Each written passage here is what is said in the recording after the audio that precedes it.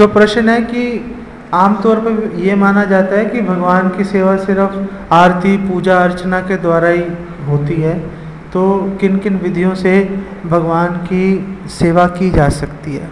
तो हर उस विधि से जिसमें आपका मन भगवान में लगे, वो भगवान की सेवा है। चाहे आप पूजा करते समय भगवान में मन लग रहा है तो पूजा भगवान की सेवा है।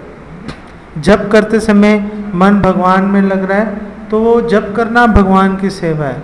यहाँ पर मंदिर में पोछा लगाने से अगर आपका मन में शांति मिल रही है, भगवान का स्मरण हो रहा है तो पोछा लगाना भगवान की सेवा है।